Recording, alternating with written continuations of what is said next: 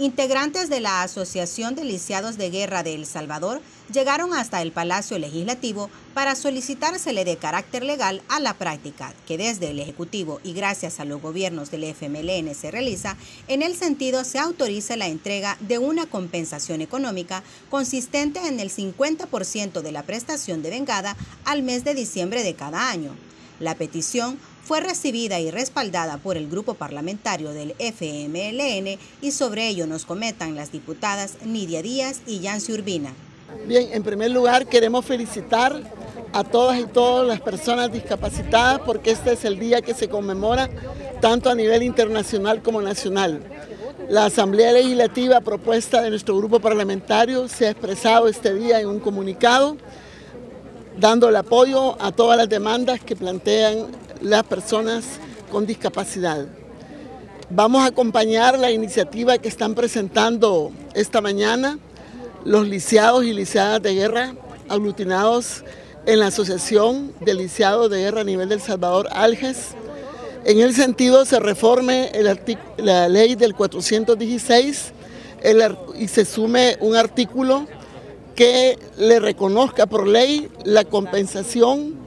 que año con año para las fiestas navideñas se les está dando por parte de los gobiernos anteriores y ahora parece una incertidumbre el que no se les vaya a dar ese beneficio,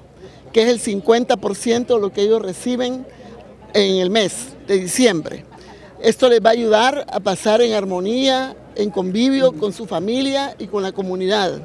Nosotros eso lo vemos como una causa justa y por eso lo estamos apoyando y acompañando a todo este sector tan importante y estratégico en el país, porque expresa pues la parte mucho más humana de lo que fue este conflicto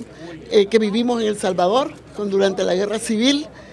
el tema hoy es que esto no quede a discreción del funcionario que está de turno, sino que se oficialice a través de una reforma de ley. Y esperamos que, este, que se parte de toda la disponibilidad de recursos que tiene el Estado. De hecho, en el último periodo hemos estado recibiendo solicitudes de reformas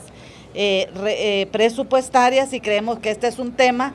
que puede tener atención y puede ser atendible desde los recursos del Estado en el Fondo General de la Nación. De hecho, esa es parte de donde ha venido proveyéndose este servicio, esta compensación económica y esperamos que esto pueda continuar. El tema acá es de voluntad política de asignar este recurso y dejar la reforma de ley consignada para que los lisiados, las lisiadas de guerra, de, eh, del conflicto armado puedan tener esta compensación a disposición en los próximos días y que les demos seguridad jurídica de un beneficio que han venido percibiendo en los últimos años. Este compromiso es importante que se pueda hacer efectivo lo más pronto posible para que todos los lisiados, lisiadas de,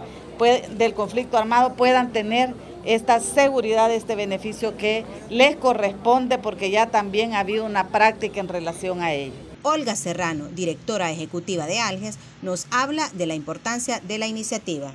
Eh, los lisiados y lisiadas de guerra somos parte de este universo de personas con discapacidad y vimos a bien introducir una pieza de correspondencia que tiene que ver con eh, la compensación económica. O sea, este es un artículo del, del, documento que presentamos el 26 de agosto de este año. Este, es, este artículo eh, habla sobre la compensación económica que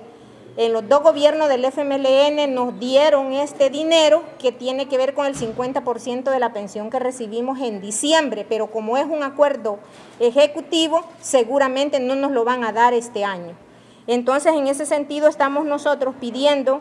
a los diputados de la Asamblea Legislativa, ¿verdad?, este, eh, reconocemos el esfuerzo de, los diputados nuestros del FMLN de recibir esta pieza para ver si por lo menos este artículo se puede aprobar ya y de que de esta manera nos puedan eh, dar verdad esa compensación económica y que ya quede en la ley de lisiados de guerra.